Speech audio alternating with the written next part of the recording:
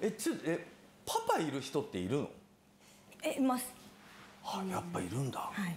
本当にね生活できない子とかもいるのでそういう方がいないと、はあ。なんでなんかしょうがないのかなとも思っちゃう。え、そう家賃払ってもらったりとか？お家買ってもらってる人とか多い。買ってもらってる人？いますいます。プレゼントでもらってる人もいます。誰？聞きたい。書きます？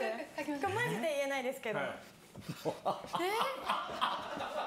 マジかよ。俺なんかもうなんかいろんなとこ仕事行った時に会っちゃったらどうしよう。え？ー、これは私たち界隈ではめちゃくちゃ有名なんですけど。え？